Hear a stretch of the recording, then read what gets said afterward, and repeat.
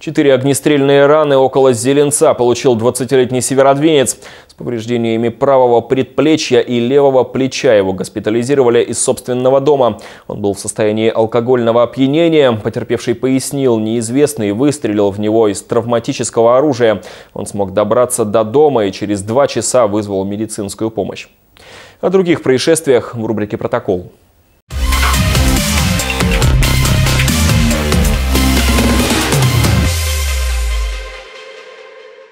В Северодвинской пятиэтажке вспыхнул пожар. Сегодня в полдесятого утра на Труда 29 загорелась квартира на втором этаже.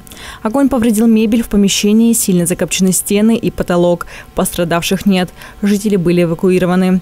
Пожар ликвидировали за 15 минут. На место происшествия выезжали пожарно-спасательные расчеты в составе 11 человек и трех единиц техники. Причина возгорания выясняется. Архангел Огородец из-за денежного долга убил женщину. 5 октября 62-летняя женщина пыталась покинуть автомашину «Шкода», но водитель решил иначе. Он вывез ее за пределы города и нанес несколько ударов кирпичом по голове. Тело оставил под кучей мусора. Ссора возникла из-за долга, который женщина отказалась возвращать. У следствия есть основания полагать, что подозреваемый занимался противоправной деятельностью с целью извлечения прибыли. Всех, кто располагает информацией о данном мужчине, просьба обратиться по телефонам 63 20 53 8 952 254 51 81 или 02. Малолетние воры пытались увезти краденый сейф на машине скорой помощи. В полицию Котласа поступило сразу три вызова. О краже сейфа с деньгами со склада и двух угонах автомобилей скорой помощи и отечественной четверки. Сотрудниками ГИБДД были остановлены двое подростков 13 и 17 лет. В салоне автомобиля полицейские обнаружили и изъяли похищенный на складе сейф.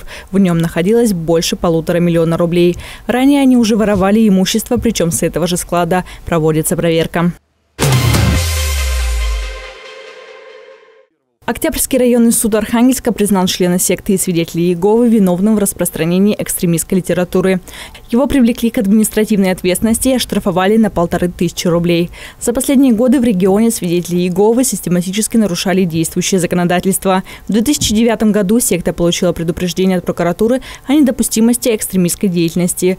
В 2010-м свидетели Иеговы со скандалом выгнали из первой горбольницы Архангельска. Там они пытались доказать хирургам необходимость отказа от переливания переливания крови. В 2015-м правоохранительные органы изъяли свыше полутора тысяч экстремистских материалов. В нашей области в этой секте находится более двух с половиной тысяч человек. Если вы знаете о противоправной деятельности культа свидетелей Иеговы, просьба обращаться по телефону горячей линии антисектантского центра «Гражданская безопасность» 8 911 552 80 21. Вы читали Библию?